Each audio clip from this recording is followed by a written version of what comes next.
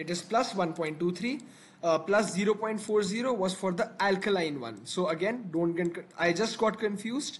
So uh, you will you you can also get confused. So just uh, make sure you're looking at the correct one. This is acidic and for acidic it is plus 1.23 volts. And we know that this is a typical standard hydrogen electrode because this H3O plus ions are nothing but H plus ions because obviously hydrochloric acid and hydrogen so it will have zero we know that standard hydrogen electrodes have, electrodes have zero so since 0 is less than plus 1.23, this will be the negative electrode and hence this will be the positive electrode. So the oxygen electrode, the left hand electrode is positive because it is greater than the hydrogen electrode. So electrons are flowing in this direction. Now use the data booklet to calculate the voltage produced by this cell. So it will be uh, this is the lower one so we will invert the equation and then we will add so even after inverting 0 remains 0 so 1.23 plus 0 will, give, will be 1.23 so this becomes plus 1.23 volts plus 1.23 volts the voltage that is being produced by this cell. This is the value that we will see on the voltmeter over here now let's move to the next part. Uh, okay, so this is another question altogether. Use the data booklet, data from the data booklet to construct redox equations and calculate the standard cell potentials for the reactions between acidified H2O2 aqueous and potassium iodide aqueous. Now here there is a trick. So you can either use the data for the potassium ions or the data for the iodide ions and let's see which one we'll use based on what is being reduced and what is being oxidized. So for acidified H2O2, when you look at the data booklet, the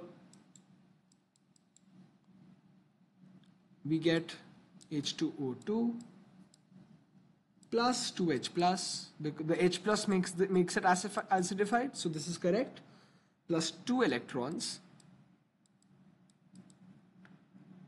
gives two H2O.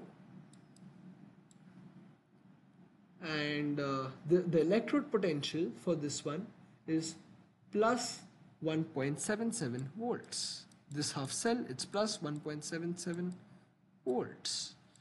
Now, the other one, so so we have to, uh, so let's write for both potassium and for iodine and then we'll see what happens. So for this, it will become, if we see K, uh, for K plus, if we look at the data booklet, it is minus 2.92, minus 2.92, the E naught value.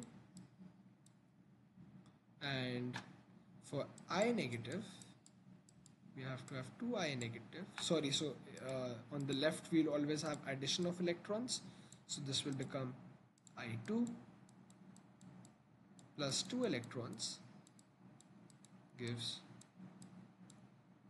2i negative. And when I look at the value in the data booklet for this one it is plus 0.54 now now let's consider this the, so the first one is important because obviously acidified H2O2 nothing changing there but we can only use one of these. And the reason for this is I'll just tell you so if you look at the potassium equation, it is negative. Minus 2.92 volts is more negative than plus 1.77 volts. So we will have to invert. So when we invert, it will mean that we are making the reaction happen between H2O2 and potassium. However, this is not potassium, this is K plus.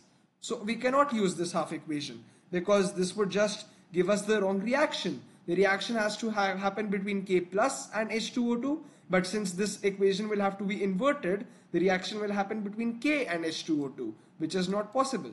So we will erase this from here. This is of no relevance to us anymore. Now now if we look at the, this half equation the I2 again plus 0.54 is less than 1.77 so we will have to invert which means H2O2 is reacting with the iodide ions and in Ki we have the iodide ions. So this is the correct one. So we will be using this half equation instead of the K plus half equation. So what we have to do is uh, we have constructed redox reactions and now we have to calculate the standard cell potentials. So first